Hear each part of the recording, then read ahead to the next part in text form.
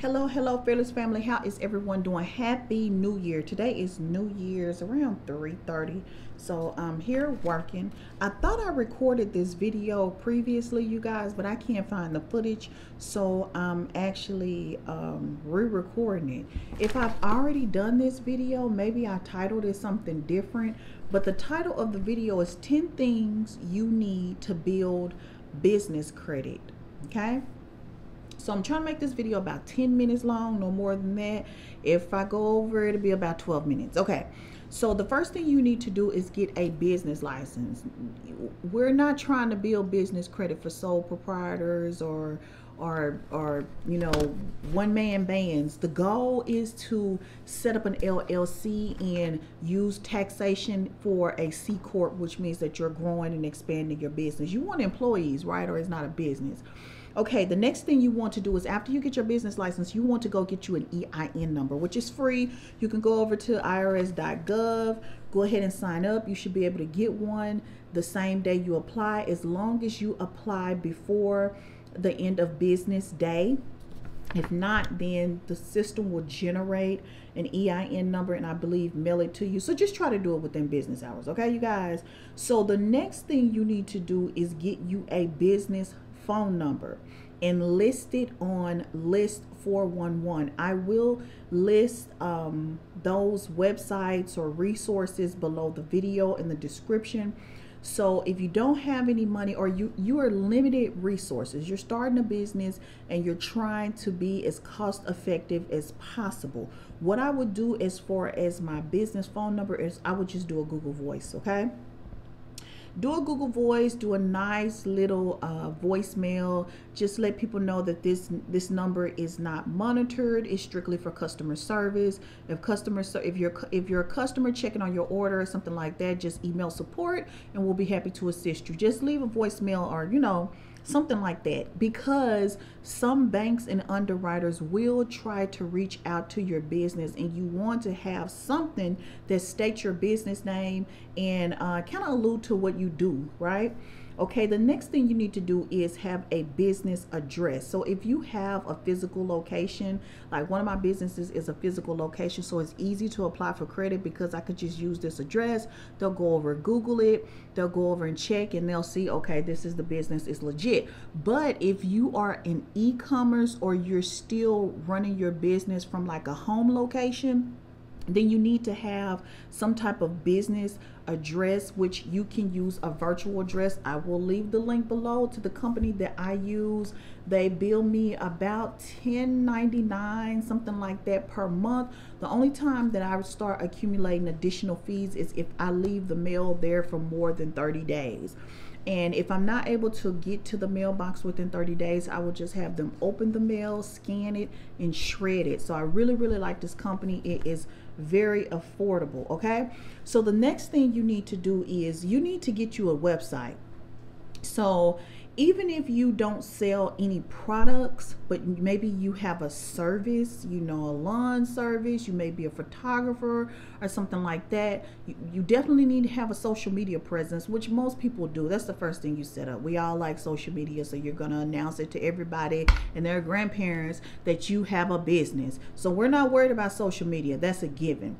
But you do need some type of website and the website like i said if you're just a photographer and you want to showcase all of your you know your content and your skills you may want to give you know a backstory on who you are and what made you decide to do this great thing that you're selling then just do a one page blog um, I think Wix or something like that allow you to do a, a, website for free on their platform. It's quite a few. It's not hard to find. Just do a one page website.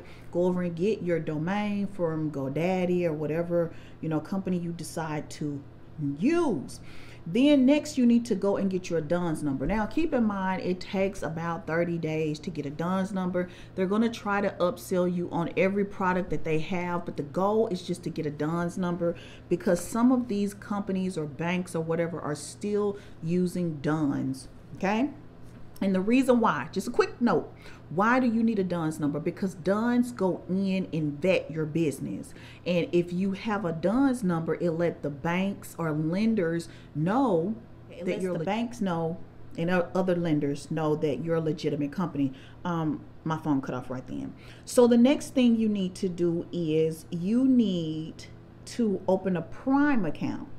Uh, Prime will be below the video as well. I will just maybe list all of these resources so you don't have to go and try to Google them. So they will be listed, may not be in the sequence that I'm mentioning them on the video, but they will be below the video. So you need to go over and get you a NAV Prime account. NAV is like a business uh, it's like a credit karma for your business. That's the best way i can explain. So you will be able to go over there log in and actually see your business credit score.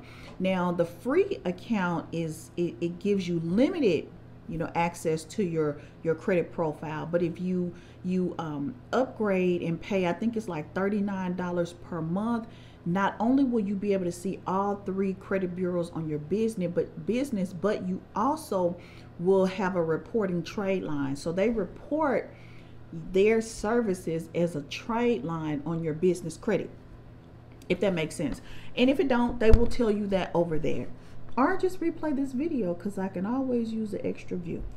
okay, so the next thing you need to do is you need at least a 650 credit score. Okay, you at, at least the 650 so if if i was in someone's shoes that had poor credit right? Poor credit due to collections. You have a couple of cable bills a couple of utility bills or you got this credit card and you didn't pay it off. Whatever the situation is you have some collections.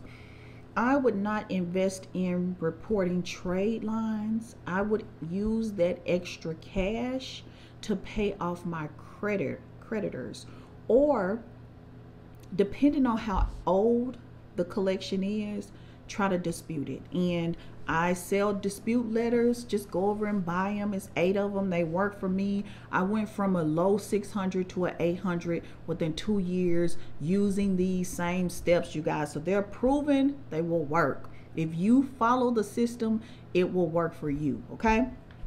So let's work on the credit before you start purchasing trade lines like Uline and Quill because these companies are kind of overpriced but you're not using them because they're a discount. You're using them because they report as a trade line on your business credit.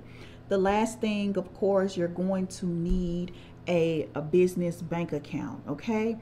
Um and that's a given you know if, if you don't have a business bank account you're not doing business. If you don't have any of these things that i just mentioned you're really not doing a business okay? So hopefully this will help some of the i know this video is really not relevant to all of my subscribers because most of the fearless family already have uh, businesses. They just subscribe for me subscribe to me because i talk about you know cr- different credit cards and everything else. But i have a whole big big list of credit cards that I have applied for over the last two years. Go back and look at them.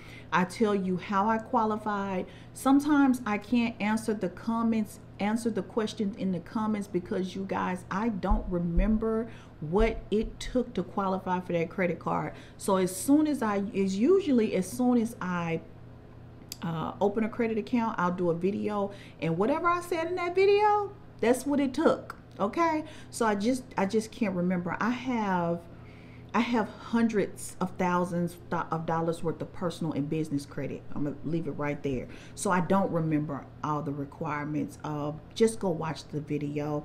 If you're new to my channel, thank you so much for visiting. Go ahead and subscribe. Turn on the notifications. I don't have a set time when I upload videos. I just try to upload them when I have time. But I have a lot of great content for uh, business, credit, and in different companies that I may suggest or companies that I'm using that I haven't did a video on. So just go ahead and subscribe so you won't miss any new content.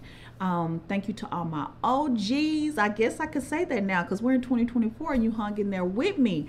Um, thank you so much for watching. Until the next video, stay fearless. Bye.